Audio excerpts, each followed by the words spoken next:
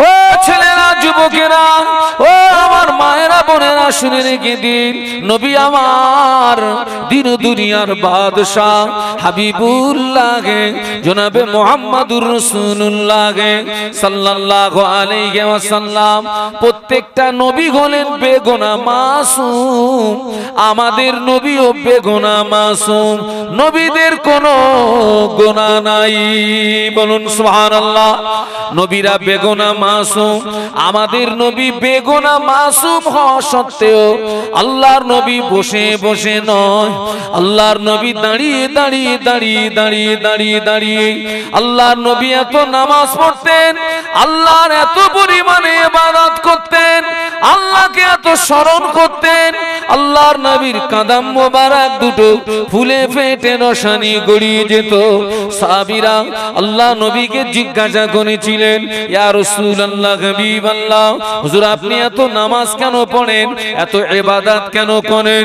আপনার কাদাম মোবারক দুটো ফুলে ফেটে রসানি গড়িয়ে যায়। আল্লাহ নবী কত সুন্দর জবাব দিয়েছিলেন, ও সাহাবীরা, যে আল্লাহ আমাকে নবী বানালেন, যে আল্লাহ আমাকে রসুল বানালেন যে আল্লাহ আমাকে এত ইজ্জতের হকদার করলেন। আমি কই আল্লাহ পাকের ইবাদতের ভিতর দিয়ে কায়ামাতের ময়দানে কি তার শকর গুজার বান্দাদের দলভুক্ত হয়ে কি উঠব না? ও আমি আল্লাহ নবী বলছি, তোমরাও সকলে আল্লাহ পাকের ইবাদতে মশগুল হয়ে যা জোরে বলতে পারলেন না? মোহাব্বতে বলতে পারলেন না। বিশ্ব নবী বেগুনা মাসুম হওয়া সত্ত্বেও এত নামাজ পড়তেন, পা দুটো ফুলে বেটে। আচ্ছা ভাই, আমাদের উপরে নামাজ কত ফরজ? আচ্ছা ওই টোটাল পাঁচ নামাজ যদি এক জায়গায় দাঁড়িয়ে পড়ে দেই, আমরা যা ফুরন টান টানি। কতক্ষণ সময় লাগবে বলে মনে হয়? হ্যাঁ কুড়ি। আরে না না না টোটাল পাঁচ অক্ত নামাজ এক জায়গায় দাঁড়িয়ে পড়তে এক ঘণ্টা। আচ্ছা এক ঘণ্টার নামাজ পড়ে কি পা ফুলে ফেটে রস বেরোবে বলে মনে হয়? না না তাহলে আল্লাহ রসুলামের কোন নামাজ পড়ে পা ফুলে ফেটে রস বাড়ালো? কোন নামাজ?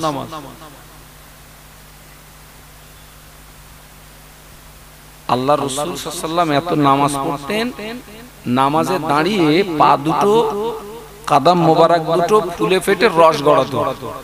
তো এখানে আমরা যা অঙ্ক করে দেখছি অঙ্ক কষে দেখছি তাতে দেখা যাচ্ছে পাঁচ অক্ত নামাজে এক জায়গায় দাঁড়িয়েও যদি পড়া হয় তাতে পা ফুলে ফেটে? তাহলে কোন নামাজে? ওটা ছিল নফল নামাজ। সুবহানাল্লাহ বলুন একটু জোরে বলুন। বলুন আমাদের নবী পাঁচ অক্ত নামাজ ছাড়াও ফারজে আইন পাঁচ অক্ত নামাজ ছাড়াও আল্লাহ নবী এত পরিমাণে নফল নামাজ পড়তেন। আল্লাহর নবীর দাঁড়িয়ে দাঁড়িয়ে কাদাম মোবারক দুটো ফুলে যেত। সুবহানাল্লাহ সুবহানাল্লাহ সুবহানাল্লাহ। আর আমাদের তো নফল পড়ে থাকে কোনটা হয় না? হ্যাঁ? ফরসটাও পড়ে বলে নামাজ পড়ি আর না পড়ি আমার মন ভালো। পাক্কা চিটিং বাজো। তুই নামাজ পড়িস তোর আবার মন ভালো মানে? আবার বলে নামাজ পড়ি আর না পড়ি আমার ইমান ঠিক আছে। পুরে শয়তান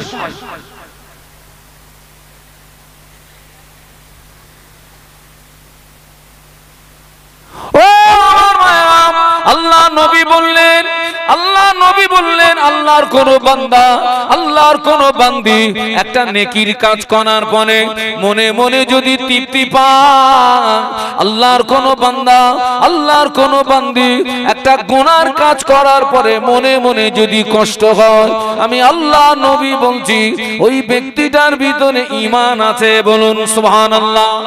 আর জোরে বলুন। অষ্টা বোঝেন। আল্লাহ রসুল বললেন, আল্লাহর কোন বান্দা একটা নেকির কাজ করেছে। নেকির কাজ করে মনে যদি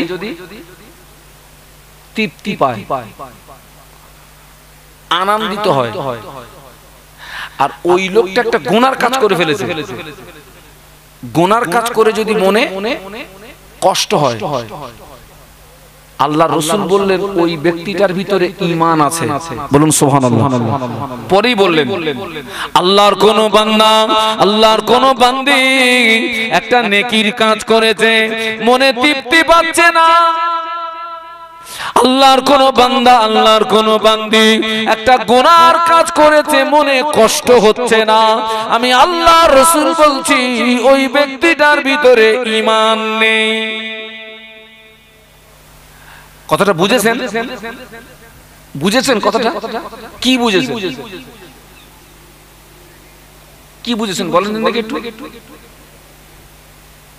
তাহলে এই কথার দ্বারাই রসুলের এই হাদিসের দ্বারাই কি প্রমাণ পাওয়া যাচ্ছে?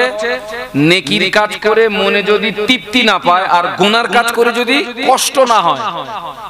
তাহলে ওই লোকটার মধ্যে ইমান নেই।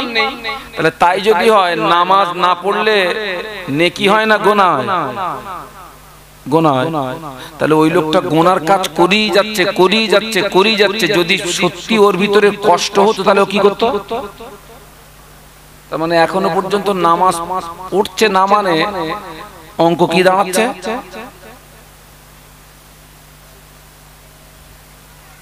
ওইটা আমি আর বলব না।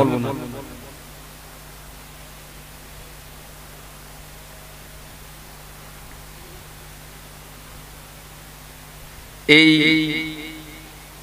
এই যে আপনার নবী দিবসের মাস চলে গেল না? নবী দিবসের মাস আমাদের এতটা টাপ ছিল। আমি আমার কথা বলি। আমি তো পাগলা হয়ে গেছিলাম। এত টাপ মানে এক এক রাতে এক এক জেলা। কোন একটা মাহফিলে গিয়েছি মাহফিলের বাজেট দশ লক্ষ টাকা। কত বলেছি? দশ লক্ষ টাকা বাজেট তারা শুধু আমার পিছনে খরচ করেছে একচল্লিশ হাজার টাকা। কত বলেছি? আমার পিছনে ব্যক্তিগত আমার পিছনে খরচ করেছে একচল্লিশ হাজার টাকা। তো আমি যখন স্টেজে উঠছি একটা ছেলে আমার কানে কানে বলছে হুজুর এ যারা যারা নেতৃত্ব দিচ্ছে অধিকাংশ নামাজ পড়ে না।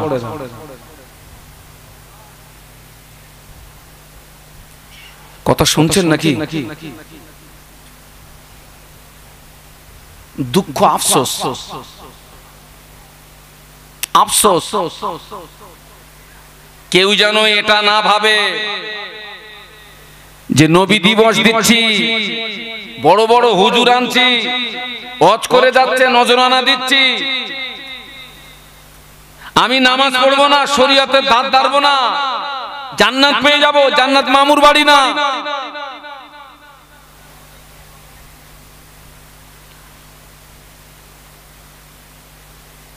জান্নাত মামুর বাড়ি নয়। হ্যাঁ তোমরা এই কাজটা করছ কাজটা ভালো কাজ করছ আলহামদুলিল্লাহ। তার জন্য তোমাদের জন্য অন্তর থেকে দোয়া। অন্তর থেকে দোয়া ও যুবকেরা জোয়ানেরা ও মায়েরা বোনেরা, আমি আপনাদেরকে জিজ্ঞাসা করি, বাবা, এই পৃথিবীর জমিনে অনেক মানুষ অন্ধ আছে, অনেক মানুষের দুটো হাত নাই, অনেক মানুষের দুটো পা নাই, অনেক মানুষ কঠিন কঠিন রোগে আক্রান্ত হয়ে আছেন। কেউ ঘরের বিছানায় শুয়ে কাঁদছেন, কেউ হসপিটালের বেডে শুয়ে কাঁদছেন।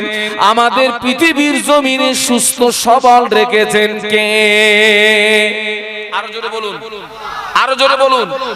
আল্লাহ ইচ্ছা করলে আমাদের অন্ধ করে দিতে পারতেন। আল্লাহ ইচ্ছা করলে হাত দুটো অকেজো করে দিতে পারতেন। আল্লাহ ইচ্ছা করলে পা দুটো যখন দিতে পারতেন। আল্লাহ ইচ্ছা করলে কঠিন কঠিন রোগ দিয়ে আল্লাহ হসপিটালের বেডে চিত করে শুইয়ে রাখতে পারতেন। পারতেন না পারতেন না।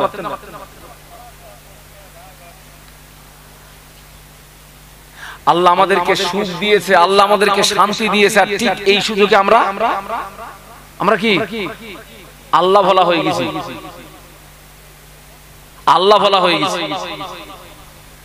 বাস্তব বলছি না বাস্তব বলছি? এখন তো এখন তো বাবা হক কথা বলা বক্তার সংখ্যাও কমে গেছে। আর হক কথা শোনা শ্রোতার সংখ্যাও এখন হক কথা বললে কিছু শ্রোতা রেগে যায়। কিন্তু বাস্তবে যে সমস্ত বক্তারা হক কথা বলে,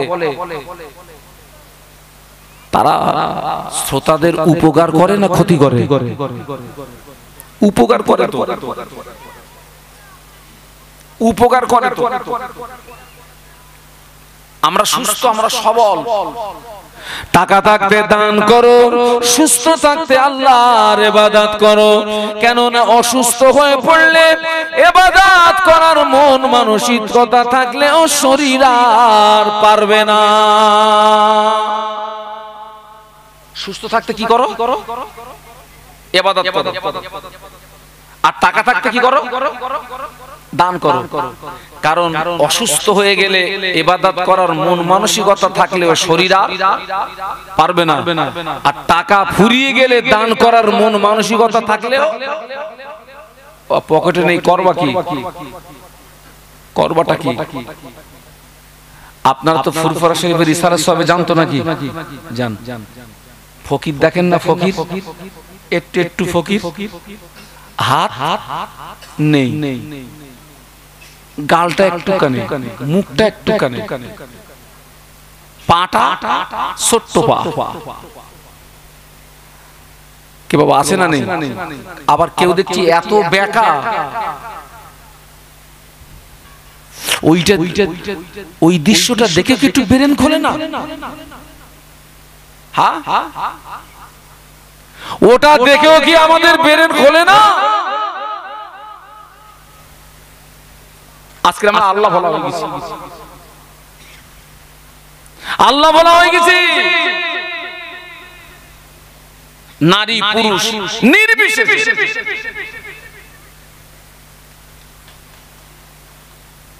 আল্লাহ আমাদেরকে হেদায়েত নসিব করুন বলুন আল্লাহুম্মা আমিন। বলুন আল্লাহুম্মা আমিন। বলুন আল্লাহুম্মা আমিন। আমার সোনার ছেলেরা আমার মা বোনেরা আমি প্রত্যেককে অনুরোধ করে যাচ্ছি। জন্মেছি মানে মৃত্যু আমাদের হবে।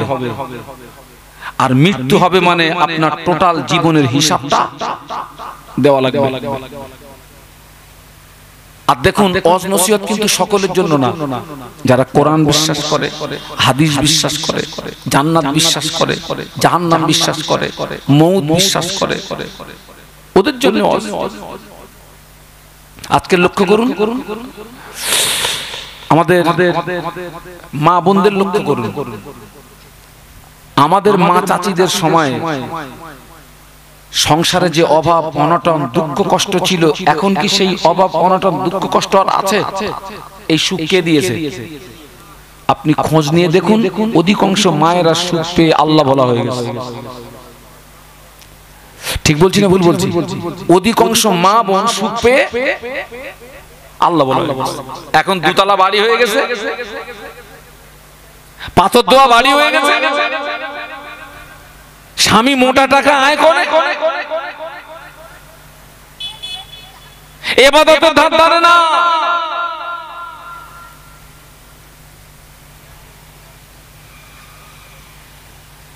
ও আমার মায়েরাম, আল্লাহ নবী দিন দুনিয়ার বাদশাহ হাবিবুল্লাহকে, জনাবে মোহাম্মদুর রসুল্লাহকে সাল্লাল্লাহু আলাইহি ওয়াসাল্লাম সাহাবীদের লক্ষ্য গনে বলেছিলেন, ও আমার যে আল্লাহ আমাকে নবী বানালেন, যে আল্লাহ আমাকে রসুল বানালেন, যে আল্লাহ আমাকে এত ইজ্জতের হকদার করলেন। আমি কি আল্লাহ পাকের ইবাদতের ভিতর দিয়ে কিয়ামতের ময়দানে কি তার বান্দাদের দলভুক্ত হয়ে উঠব না? ও আমার সাহাবীরা, আমি আল্লাহ নবী বলছি, তোমরাও সকলে আল্লাহ পাকের ইবাদতে মশগুল হয়ে যাও। আর একটু জোরে বলুন।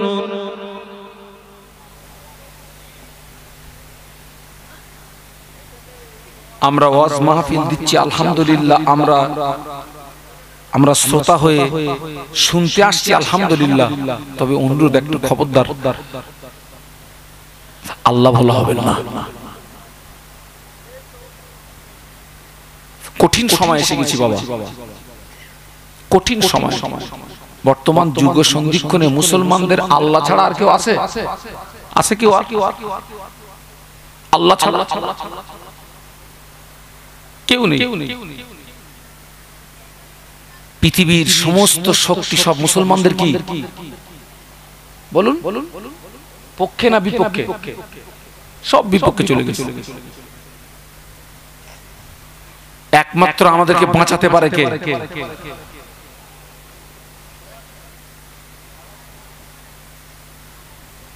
আল্লাহ আল্লাহ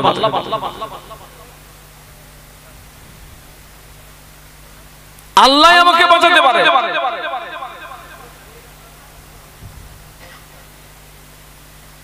আমার নবী, আপনার নবী হাবিবুল্লাহ, জনাবে মুহাম্মদুর রাসূলুল্লাহ সাল্লাল্লাহু আলাইহি ওয়াসাল্লামকে অনুসরণ করেছেন। বাবাজি, অনুসরণ করেছেন। চার ইমামের আকে মা ইমামে আজম, আবু হানিফা রাহমাতুল্লাহ আলাইহি, আল্লাহ পাক যে ইমামে আজমকে 70 বছর হায়াত দিয়েছিলেন। ইমামে আজম, আবু হানিফা রাহমাতুল্লাহ আলাইহি 70 বছরের ভিতরে পঞ্চান্ন বার হজ করেছিলেন। এমামে আজম আবু হানিফা রহমতুল্লাহ আলাইহি। হুজুর, আমার প্রতিদিন পাঁচ ওয়াক্ত নামাজ ছাড়াও এশা নামাজের পরে দুই রাকাত করে নামাজে নিয়াত করতেন। আর ওই দুই রাকাত নামাজে আল্লাহ পাকের কোরআন শরীফ একবার করে খতম করে দিতে একটু মহব্বতে বলা যাবে না? ওই যে আল্লাহ রসুল এক জায়গায় বলেছেন সল্লু কামার রই তুমুনি সল্লি নামাজ পড়ো ওইভাবে যেভাবে আমাকে পড়তে দেখো। কে বলেছেন? আল্লাহ রসুল সাল্লাম বলেছেন। তো দেখুন ইমামে আজম চার ইমামের এক ইমাম। আল্লাহ রসুল সাল্লামকে অনুসরণ করছে দেখুন। আল্লাহ রসুল সাল্লাম এত নফল নামাজ পড়তেন? আম্মা জান আয়েশা কখনো কখনো মনে করতেন আল্লাহ রসুল ইন্তেকাল হয়ে গেছে। আল্লাহ রসুল নামাজের সিজদাতে এত লম্বা সিজদা করতেন। এবং আল্লাহ রসুল সাল্লামের শরীরের ভিতর থেকে ভাত রান্না করার সময় একটা টক বগে আওয়াজ হয় না? ঠিক রসুলের কণ্ঠের ভিতর থেকে ওই রকম কান্নার আওয়াজ। কোন কোন সময়। আম্মা জান আয়েশা সিদ্দিকা রাদিয়াল্লাহু আনহা বলছেন আল্লাহ রাসূল এত লম্বা সিজদায় চলে যেতেন আমি মনে করতাম আল্লাহ রাসূল ইন্তেকাল হয়ে গেছে। ইন্তেকাল হয়ে গেছে। এত লম্বা সিজদা করতেন। দেখুন ইমামে আজম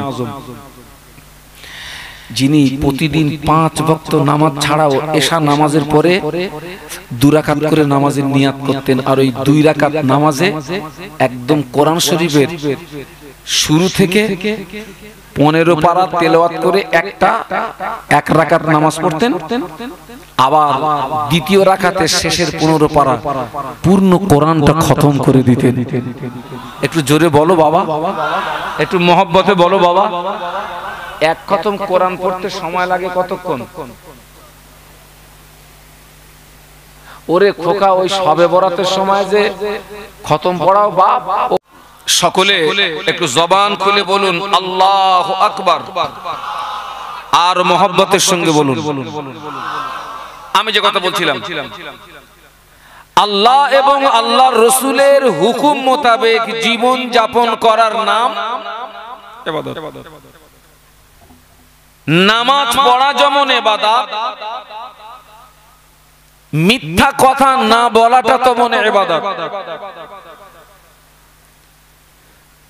টাকা থাকলে হজ করা যেমন এবাদত পরের মাল আত্মসাৎ না করাটা তো মনে টাকা থাকলে জাকাত দেওয়া যেমন এবাদত বুনের ফারাসটা ফাঁকি না মারাটা তো মনে রমজান শরীফের রোজা রাখা যেমন এবাদত সমিতি বলুন বন্ধন বলুন আপনার গ্রুপ লোন বলুন এই জাতীয় অন্যায় থেকে জীবন বাঁচানোটাও এই এই জাতীয় অন্যায় থেকে জীবনকে বাঁচানো তমন এবাদত। তবে সমস্ত নবীদের লিডার কমান্ডার কে বলুন তো? কোন নবী? মুহাম্মাদুর রাসূলুল্লাহ। সকলে বলুন সাল্লাল্লাহু আলাইহি ওয়াসাল্লাম। আমাদের নবী হলেন নবী দিগের নবী দিগের নবী। মেয়েরাজের রাতে আল্লাহ রসুল সাল্লাম বাইতুল মাকদাসে দুরাকাত নামাজ পড়েছিলেন। আর ওই বাইতুল মাকদাসে আল্লাহ রসুল যে দুরাকাত নামাজ পড়লেন, টোটাল নবী আলাইহিমুস সালামগণ, তানারা রুহানি হালাতে বিশ্ব নবীর পিছনে মুক্তাদি হয়ে দাঁড়িয়ে গেলেন। বলুন সুবহানাল্লাহ। আমাদের নবী হলেন ইমাম, আর টোটাল নবী রসুল হলেন মুক্তাদি। আল্লাহ আমাদের নবীকে ইমাম বানিয়ে দিলেন। সেজন্য আমাদের নবীকে বলা হয় ইমামুল সুবহানাল্লাহ তো আমাদের নবী হচ্ছে সমস্ত নবীদের লিডার আবার ফেরেশতাদের ভিতরে একজন লিডার আছেন। কি নাম?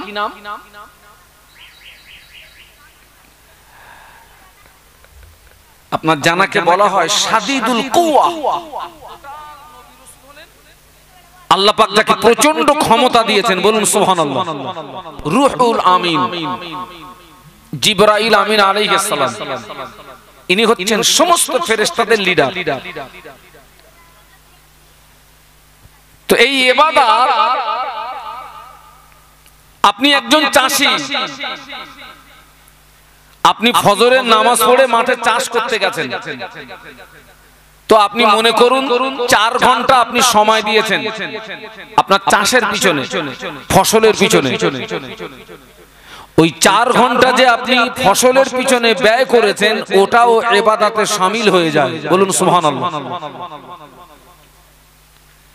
আপনি আপনার স্ত্রীর জন্য শীতের সময় একটা চাদর কিনে এনেছেন। আপনার আব্বার জন্য একটা কম্বল কিনে এনেছেন। মায়ের জন্য একটা কম্বল কিনে এনেছেন। সব এবাদত। তবে টোটাল এবাদতের ভিতরে শ্রেষ্ঠ এবাদত একটা আছে। টোটাল এবাদতের ভিতরে শ্রেষ্ঠ এবাদত হচ্ছে, আপনারা জানেন বলুন তো? সবাই মিলে বলুন। নামাজ। এই নামাজ পড়া এবাদত, আবার এই নামাজ না পড়াও এবাদত। কথাটা শুনে একটু বেকা বেকা লাগছে নাকি? এই নামাজ পড়া এবাদত আবার এই নামাজ? বলুন বলুন। বলুন তাহলে আমার কথা যে সমস্ত বেনামাজিদের কানে যাবে ওদের মন আনন্দ হবে না হবে না? যে বহুত দিন পরে হুজুর পেয়ে গেছি। এরাম হুজুর না হলি হয়। আমরা তো নামাজ পড়িনি হুজুর ভালোই আছি তাহলে হুজুর। বাবা। বাবা।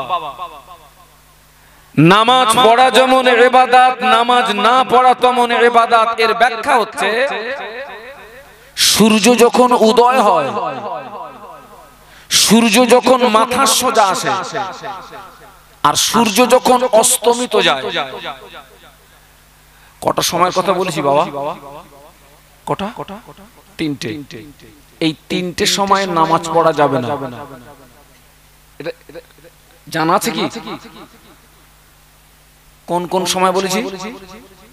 সূর্য যখন উদয় হয় অস্ত যায়। এই তিনটে সময় নামাজ পড়া যাবে না। এই তিনটে সময় নামাজ না পড়াটা যেমন এবাদাত আবার ওই তিনটে সময় বাদ দিয়ে সময় মতো নামাজ পড়াটাও একটু মোহব্বতের সমান বলা যাবে? আরও জোরে বলুন।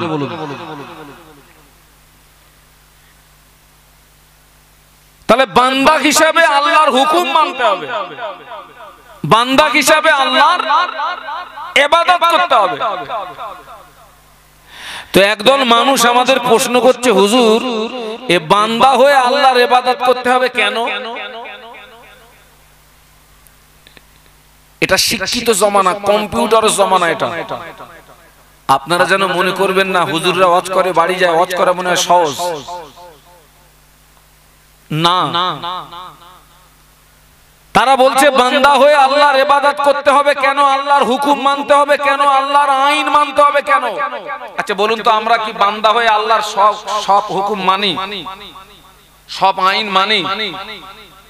না। তাদের বক্তব্য বান্দা হয়ে আল্লাহর হুকুম মানতে হবে কেন? আল্লাহর ইবাদত করতে হবে কেন? এখানে নারী পুরুষ যারা এসেছেন আমি অনুরোধ করব অধমের কথাগুলো খুব ভালোভাবে উপলব্ধি করার জন্য। আপনি জানেন আমি এখানে ওয়াজ করছি। আল্লাহ না করুক। এই যে আপনারা এখানে সব বসে বসে শুনছেন। এখন যদি এই মাহফিলের ভিতরে কোনো ব্যক্তি যদি অসুস্থ হয়ে যান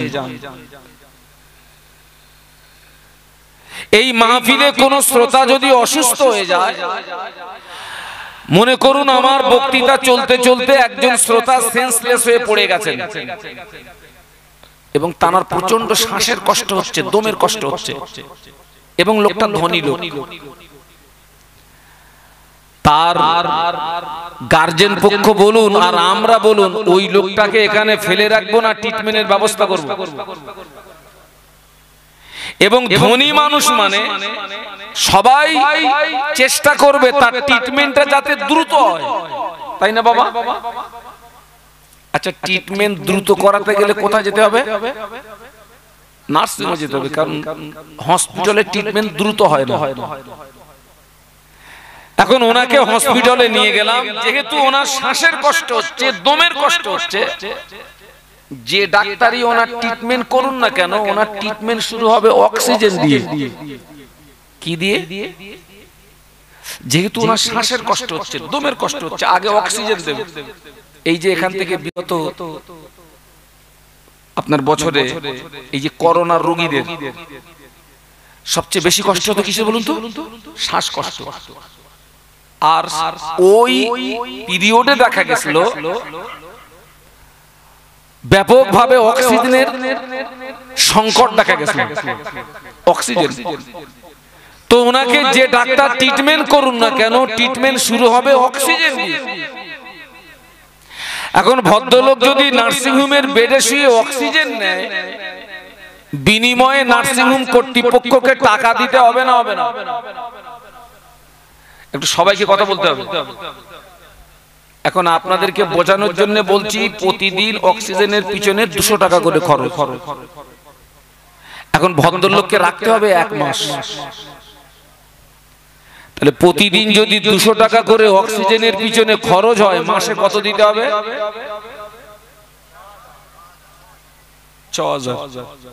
যদি ভদ্রলোককে এক বছর রাখতে হয় কত কত? ছবার এখন গড় পত্তায় মানুষ হায়াত পাচ্ছে কত? বলুন। বলুন পঞ্চাশ থেকে ষাট। আবার কম বললি তো অনেকের রাগ হয়। তার মানে হুজুর যদি বেশি বলেও মনে অনেকদিন বাঁচবে। ঠিক আছে ষাটই ধরা হোক। তাহলে বছরে যদি অক্সিজেনের পিছনে বাহাত্তর হাজার টাকা নার্সিংহোমের কর্তৃপক্ষকে গুনতে হয় ওই ভদ্রলোক যদি ষাট বছর ওকে অক্সিজেন কিনে নিয়ে বাঁচতে হয় বছরে যদি বাহাত্তর হাজার হয় ষাট বছরে কত হবে বাড়ি গিয়ে হিসাব করবেন? তবে আমি এতটুকু কথা বলতে পারব মোটা অঙ্কের একটা টাকা শুধু কিসের পিছনে দিতে হবে? অক্সিজেন আমি বেঁচে থাকব তাই। আমরা যে অক্সিজেন নিয়ে পৃথিবীর জমিনে বেঁচে আছি জীবন যাপন করছি একটু জবান খুলে আওয়াজ দেবেন এই অক্সিজেনটা কার? আওয়াজ এত স্লো কেন?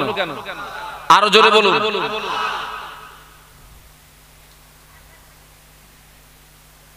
পয়সা দেন না ফাও নেন।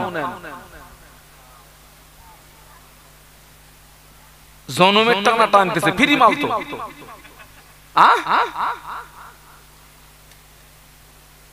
Free oxygen. মেয়েরা মহিলারা মায়েরা যুবকেরা। আল্লাহর দেওয়া ফ্রি অক্সিজেন নিয়ে পৃথিবীতে মাতব্বারি করছি। আল্লাহর দেওয়া ফ্রি অক্সিজেন নিয়ে পৃথিবীর জমিনে দাদাগিরি করছি। অথচ সেই আল্লাহকে বলুন বলুন আরও জোরে বলুন। ওরে কি চিটিংবাজ বলা যায়?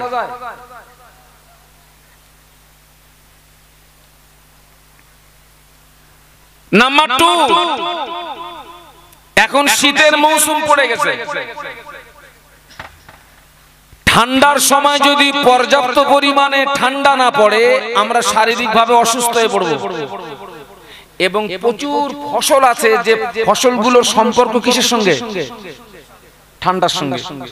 এক কথায় যদি ঠান্ডার সময় পর্যাপ্ত পরিমাণে ঠান্ডা না পড়ে আমরা যেমন অসুস্থ বোধ করব তেমন প্রচুর প্রচুর ফসল মার খাবে মানে আমরা ক্ষতিগ্রস্ত হব।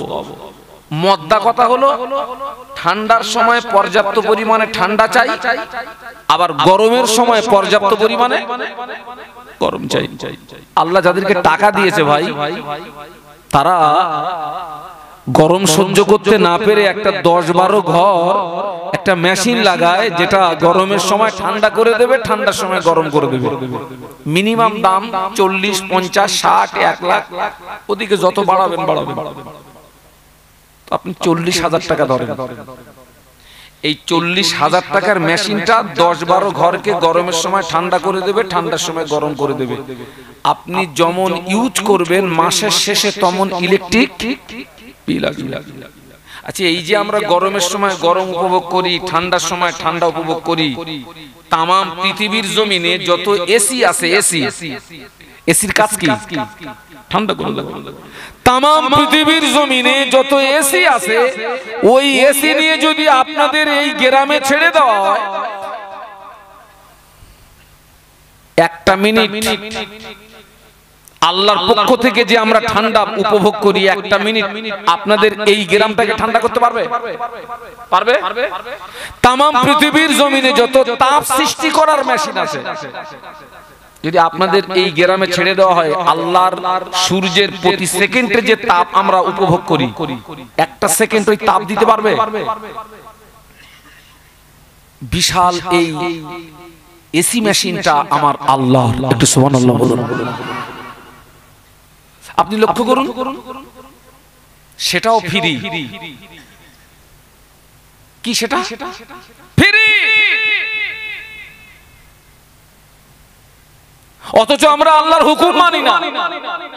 আল্লাহর আইন মানি না। আল্লাহর বিধান মানি না। খোদার গজব আসবে না আসবে না। আসবে না আসবে না।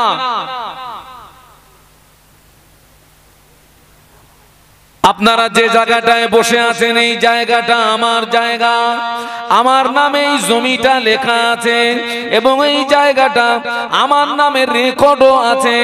আমি এখানে একটা বিল্ডিং বানিয়েছি। আমার উদ্দেশ্য হলো, এই বিল্ডিংটা ভাড়ায় দেব, মাসে একটা টাকা পাবো। জায়গাটা আমার, আমি এখানে বিল্ডিং বানিয়েছি, আমার উদ্দেশ্য বিল্ডিং ভাড়ায় দেবো মাসে। টাকা পাবো।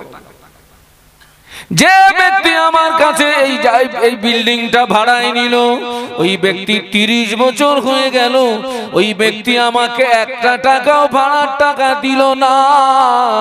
ওই বিল্ডিং এর মালিক আমি না, আপনারা আপনাদের দায়িত্ব দিচ্ছি, ওই ভাড়াটি আকে রাখবেন না, তাড়িয়ে দেবেন। বলুন বলুন। আচ্ছা কারা কারা তাড়াবেন, একটু হাত তোলেন তো। এই তাড়ানোর পক্ষে কারা? করতেস কেন? সোজা করো। এই তাড়াবেন দেবে। তাহলে আপনার মতের উপরে দাঁড়িয়ে থাকবেন। তাড়িয়ে দেবেন। ও জমিন আল্লাহর, ভাত আল্লাহর নেমাত, পানি আল্লাহর নেমাত, সবজি আল্লাহর নেমাত, বাতাস আল্লাহর নেমাত, আল্লাহর নেমাতকে ভোগ করার পরে আমরা যদি আল্লাহর হুকুম মোতাবেক জীবন যাপন না করি, আল্লাহর আইন যদি না মানি, আল্লাহর বিধান যদি না মানি, আল্লাহ বলে, বান্দা, তোর মতন বান্দার আমার দরকার নাই, তুই আমার জমিনটা ছেড়ে দিয়ে বেরিয়ে যা। তোর মতো বান্দার আমার জমিনে বসবাস করার অধিকার নাই। আমার কথা বুঝতে পারছেন? তাহলে এইবার তাড়ান আল্লাহর হুকুম যারা মানে না, দায়িত্ব আপনারা নিয়ে ওদেরকে আল্লাহ জমিন থেকে বার করে দেন তো। ভাই আল্লাহর জমিন ছেড়ে দিয়ে দ্বিতীয় কোন জায়গা আছে যাওয়ার? হ্যাঁ? একজন বলতেছে হুজুর প্লেনে উঠে করব প্লেনে উঠে আরে তুই যে প্লেনে উঠে যে জায়গাটা ঘুরতেছিস ও জায়গা কার তোর বাপের? হ্যাঁ? হ্যাঁ? কার জায়গা? আরে জোরে বলেন না জায়গাটা কার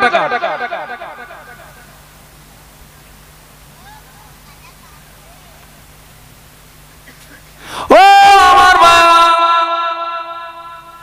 আল্লাহ বলে, বান্দা, তুই যদি আমার হুকুম না মানিস, আমার আইন যদি না মানিস, আমার এবাদাত যদি না করিস, তুই আমার জমিনটা ছেড়ে দে, তোর মতো বান্দার দরকার নাই।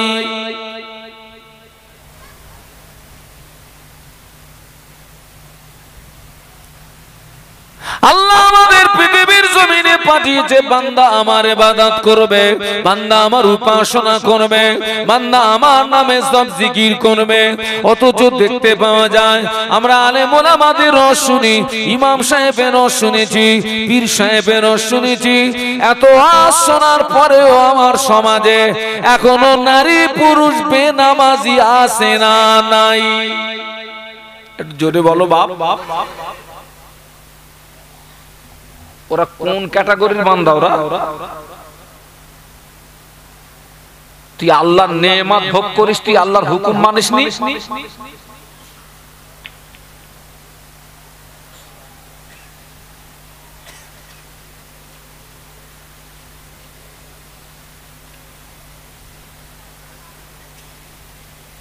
জমিন ফসল দেবে না। জমিন ফসল দেবে না।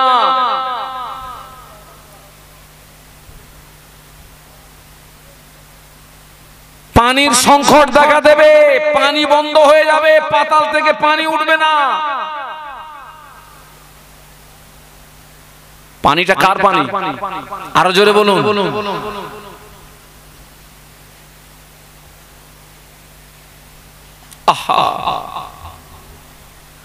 ওই কল্প নামক গোষ্ঠের টুকরাটি আয়নার মতো পরিষ্কার ঝকঝকে তক্তকে স্বচ্ছ।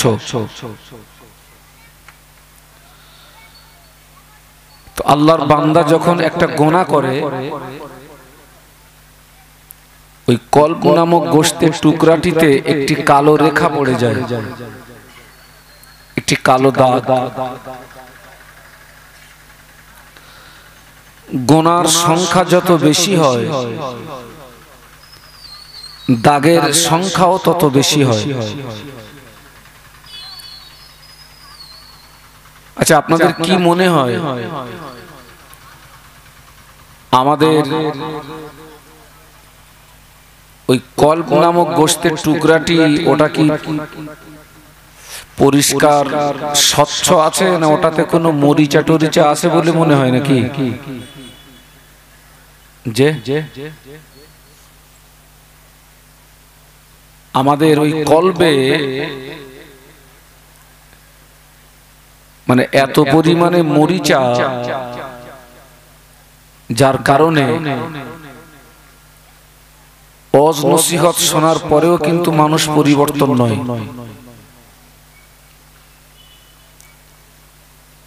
তো আল্লাহ রসুল সাল্লাহ আলিহে ওয়াসাল্লাম ওই অন্তরের মরিচা বা অন্তরের ময়লা। এই অন্তরের মরিচা, অন্তরের ময়লাকে পরীক্ষা আপনার পরিষ্কার করার ওষুধ আল্লাহ রসুল সাল্লাম বলেছিলেন তিনটি। তার ভিতরে এক নাম্বার বলেছিলেন, সাহাবিদেরকে উদ্দেশ্য করে বলেছিলেন, কাসরাত জিকিরিল্লাহ আল্লাহ রসুল বললেন সাহাবিরা তোমরা বেশি বেশি আল্লাহ আল্লাহ নামের জিকির করবে। আর ওই আল্লাহ আল্লাহ নামের জিকিরের ধাক্কা যখন তোমার কলবে গিয়ে লাগবে তোমার কল্প তথা অন্তরের ময়লা মরিচা সাফ হয়ে যাবে। একটু সোমান আল্লাহ বললেন না।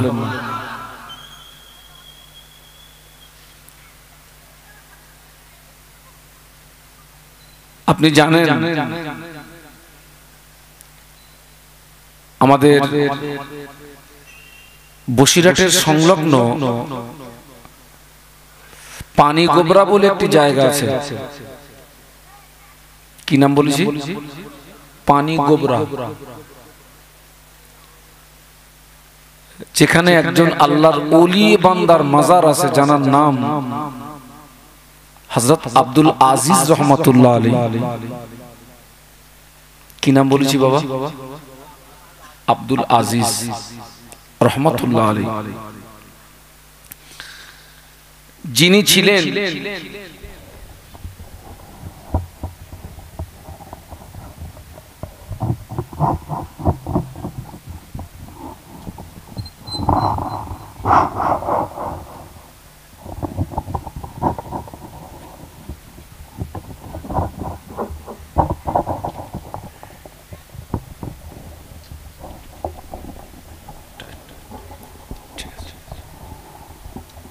যিনি ছিলেন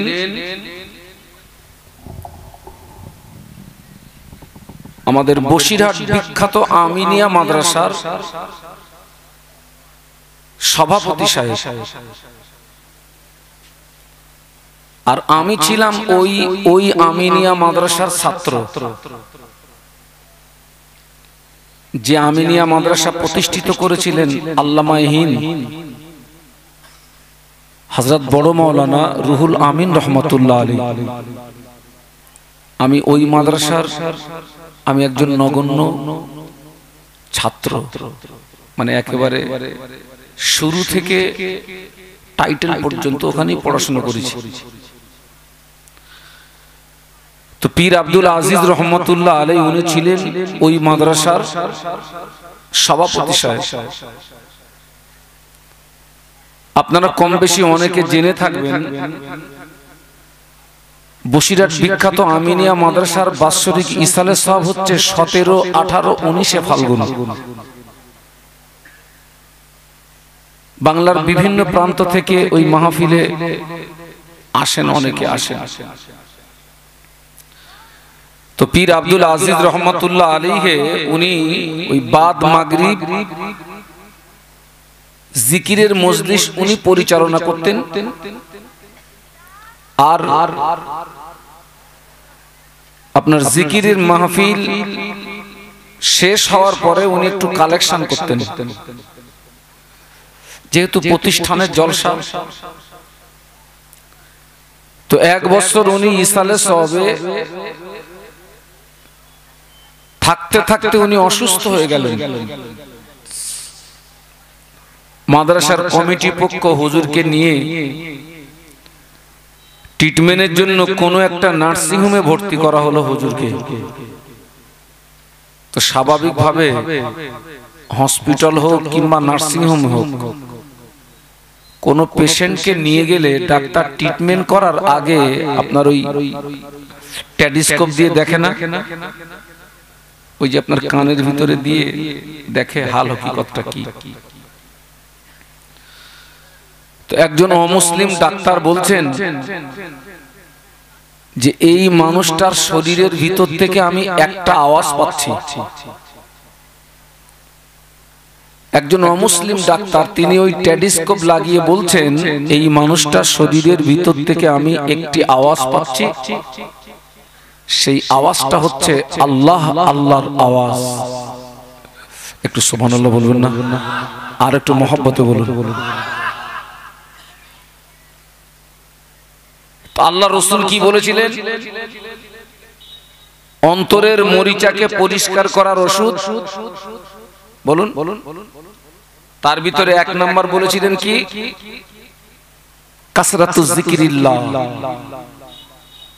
সাহাবিরা তোমরা বেশি বেশি আল্লাহ আল্লাহ নামের জিকির করবে। আপনি জানেন, লোহায় যখন জং পড়ে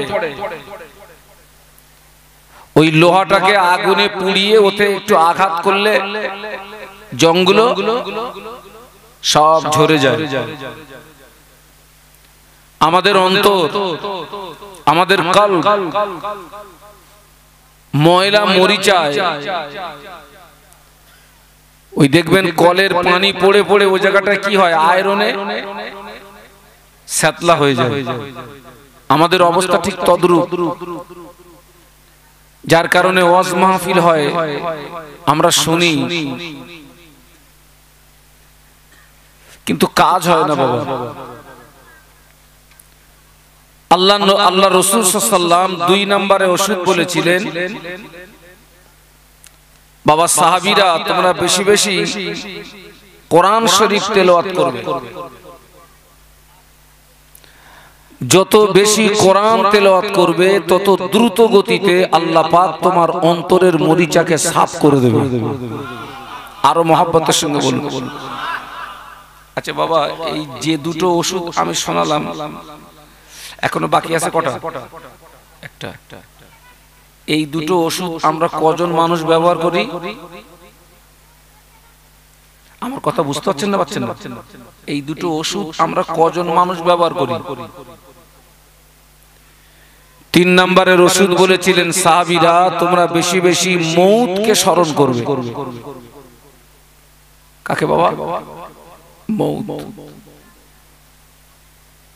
আল্লাহ নবী বলেছিলেন সাবিরা তোমরা যত বেশি মৌতকে স্মরণ করবে, তত দ্রুত গতিতে আল্লাহ পাক তোমার অন্তরের ময়লা মরিচাকে সাফ করে দেবে। সেজন্য আমরা যখন এই মানে বক্তৃতা শুরু করি এমনি উচিত সকাল এবং সন্ধ্যা একটু হালকা জিকির করা। সেগুলো আমাদের দ্বারা তো সম্ভব হয় না। সেজন্য আমরা আমরা বক্তৃতা শুরুতে একটু কলেমার জিকির করি এবং জানবেন যদি কেউ মহব্বতের সঙ্গে একবার কলেমার শরীফ পড়ে। আল্লাহ ওই ব্যক্তির নামায় আমলে চার হাজার নেকি দান করেন। তোমরা সম্মিলিতভাবে কয়েক মিনিট একটু কলেমার জিকির লা ইলাহা ইল্লাল্লাহ লা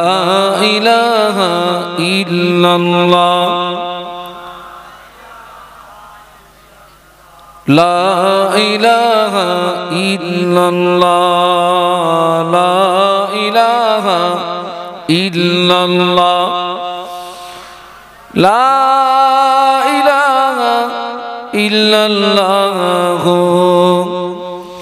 মোহাম্মদুর রসুল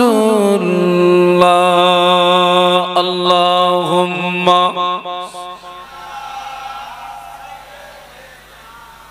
বাবা এখানে একটা ছোট ফ্যান দেওয়া যায়?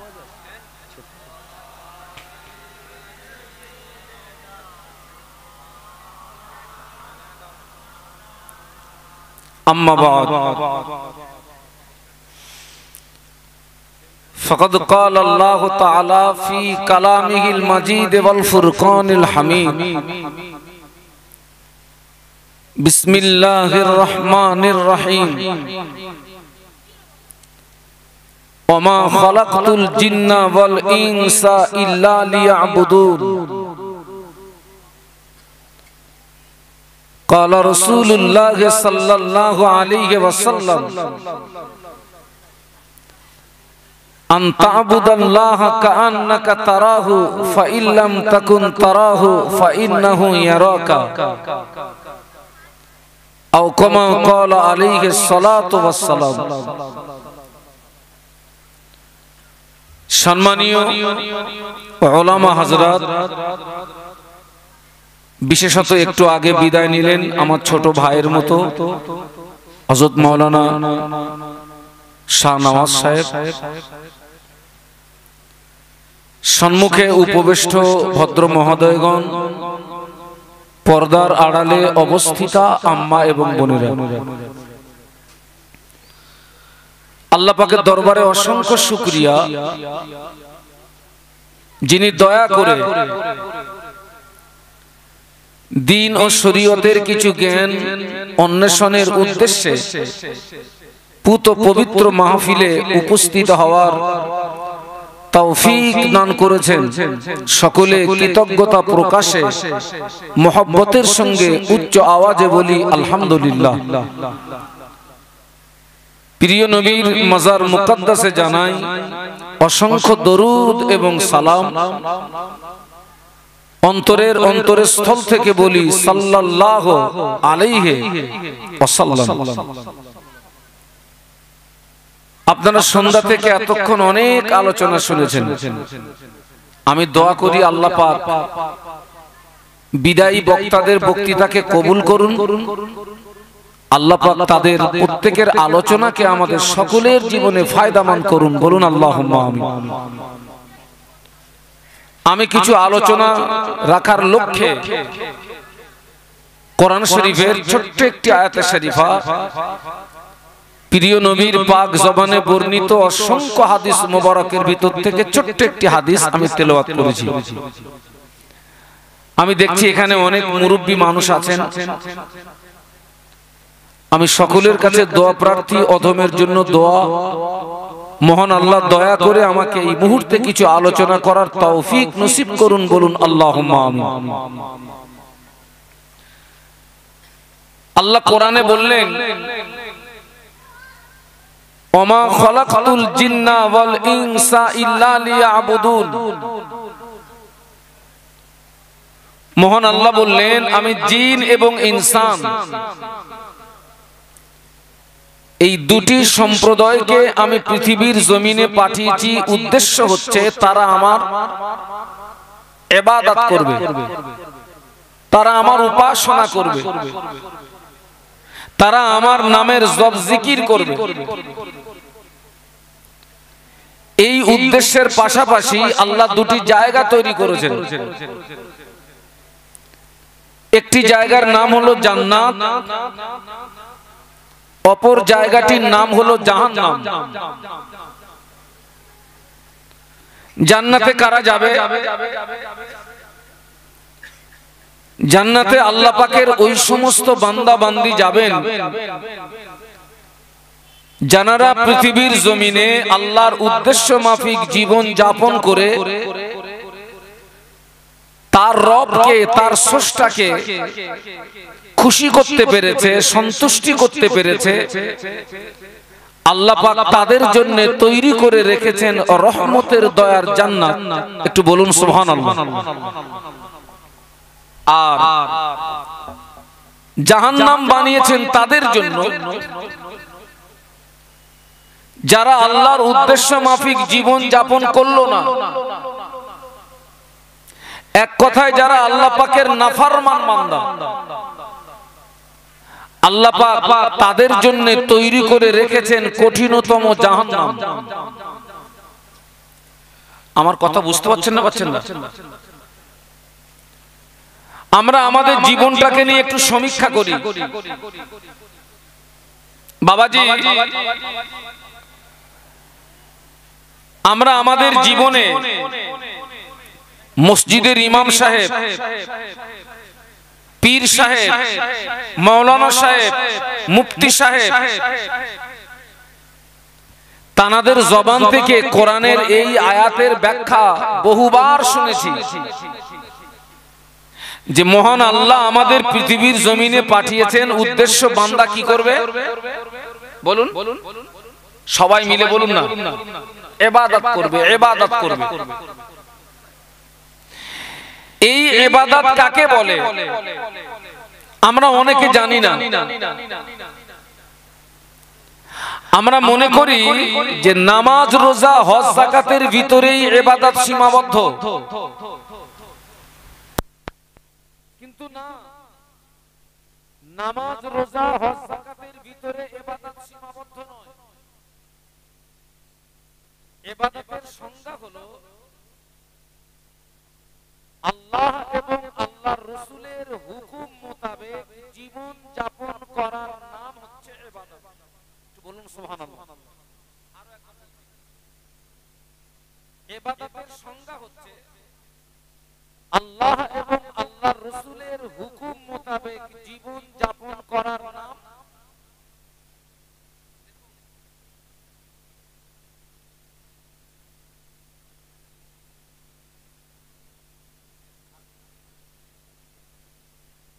একবার দরুদ শরীফ আল্লাহুম্মা সাল্লি আলা। ঠিক আছে থাক থাক থাক থাক এতগুলো মানুষ এতগুলো মানুষ আল্লাহ আকবার এতগুলো মানুষ। আর একটু মহব্বতে পড়ি। আল্লাহুম্মা সাল্লি আলা।